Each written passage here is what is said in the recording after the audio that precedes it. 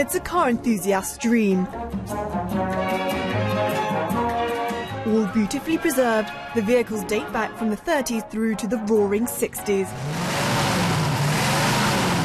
Ready to show what they can do in the annual Havana Rally.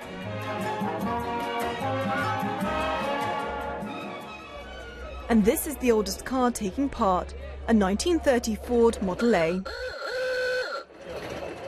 Organised by the Cuban-style Antique Car Club, there's 102 members on the island, most of them owning cars which are more than half a century old. The most represented are the Chevrolets, Ford, Dodge, and a few European cars. The important thing is that they are unique. This is the ninth rally to take place. This year's guest of honour, former Formula One driver David Coulthard with a 1955 Pontiac.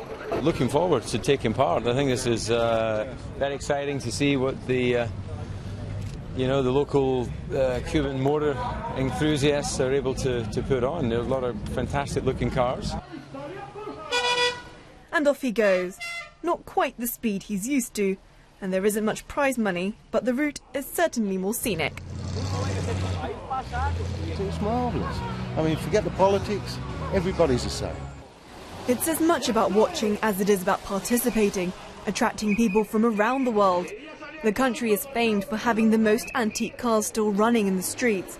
And a few years ago, Fidel Castro mandated that they can never leave the island. They've become a national treasure. Katerina Moe, BBC News.